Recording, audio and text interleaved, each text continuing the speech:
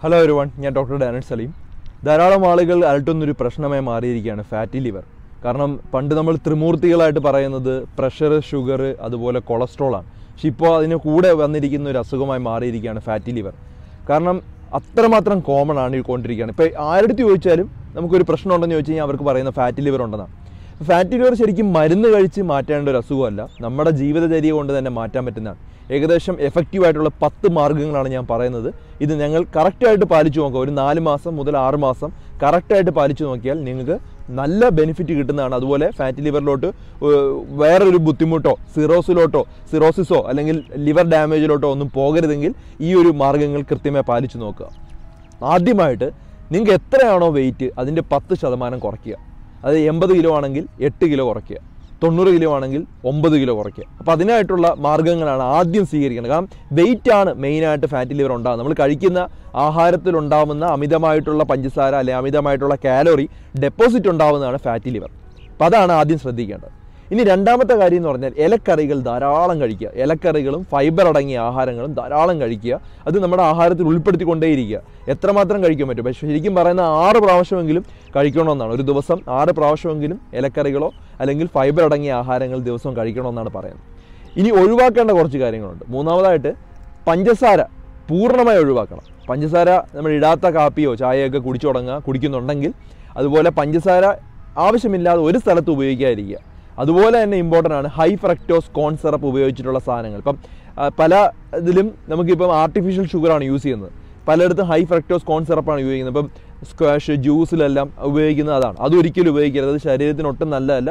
അമിതമായ കലോറിയാണ് അത് നമ്മുടെ ഡെപ്പോസിറ്റ് ആവുന്നത് കരളിലാണ്. അതുപോലെ തന്നെ പെപ്സി കൊക്കോകോള പോലുള്ള സോഫ്റ്റ് ഡ്രിങ്ക്സിലും ഇത് ഏറ്റവും കൂടുതലുള്ള ഒരു സാധനമാണ്. അപ്പോൾ അതുകൊണ്ട് തന്നെ പഞ്ചസാര അടങ്ങി ഒരു കോൺസെൻട്രേഷൻ സിറപ്പാണ് ഈ കുടിക്കുന്ന ഈ സോഫ്റ്റ് ഡ്രിങ്ക്സ് എല്ലാം. അപ്പോൾ അത് നമ്മൾ ഒഴിവാക്കിയാൽ തന്നെ ഒരു ഫാറ്റി ലിവർ കുറവ്. പ്രത്യേകിച്ചും പ്രമേഹമുള്ള ആളുകളിലൊക്കെ ഫാറ്റി ലിവർ വരാനുള്ള സാധ്യത വളരെ കൂടുതലാണ്. അപ്പോൾ ഇതൊക്കെ ഒഴിവാക്കേണ്ടതാണ്. പ്രത്യേകിച്ചും ഈ പഞ്ചസാര കലക്കിയിട്ടുള്ള ഈ സോഡകളൊന്നും ഒരിക്കലും കുടിക്കാതിരിക്കുക. അത് പൂർണമായി ഒഴിവാക്കണം. ഇനി വ്യായാമം ചെയ്യണം. നടക്കുക അല്ലെങ്കിൽ ചെറിയ രീതിയിൽ ഓടുക. മുപ്പത് മിനിറ്റ് മുതൽ നാൽപ്പത് മിനിറ്റ് ഒരു ദിവസം ഓടുക. ആഴ്ചയിൽ ഒരു അഞ്ച് ദിവസമെങ്കിലും അത് നിർബന്ധമായും ചെയ്തിരിക്കണം. നല്ലോണം വിയർക്കവും വേണം. അങ്ങനെ ചെയ്യുമ്പോൾ നിർബന്ധം നിങ്ങളുടെ ഈ കൊഴുപ്പ് നിങ്ങളുടെ ശരീരത്തിൽ നിന്ന് പതുക്കെ പതുക്കെ കുറഞ്ഞു തുടങ്ങും.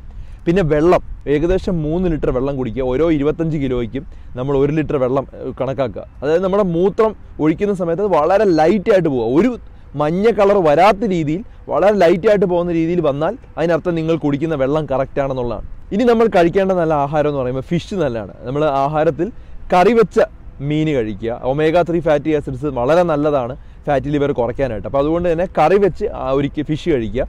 ഫ്രൈഡ് ആയിട്ട് കഴിക്കാതിരിക്കാൻ നോക്കുക. ഫ്രൈഡ് ആയിട്ട് കഴിച്ചാൽ അതിന് ഗുണവും പോവും. പിന്നെ അത് വീണ്ടും കൊഴുപ്പ് കൂടുകയാണ്. അതുപോലെ റെഡ് മീറ്റ് ഒഴിവാക്കേണ്ടതാണ്. റെഡ് മീറ്റ് എന്ന് പറയുമ്പോൾ നമുക്കറിയാമല്ലോ സാധാരണ ഉള്ള മട്ടൺ ബീഫ് പോർക്ക് തുടങ്ങിയ സാധനങ്ങൾ റെഡ് മീറ്റാണ് അപ്പോൾ അത് ഒഴിവാക്കുക. അത് കഴിച്ചു കഴിഞ്ഞാലും കൂടുതലായിട്ടും ഫാറ്റി ലിവർ ഉണ്ടാവും. പിന്നെ ഒഴിവാക്കേണ്ട ഒരു സാധനമാണ് പ്രോസസ്ഡ് ആയിട്ടുള്ള ഫുഡ് മൈദ അടങ്ങിയിട്ടുള്ള ആഹാരങ്ങൾ. ബേക്കറി ഐറ്റംസ് ഒഴിവാക്കേണ്ടതാണ്.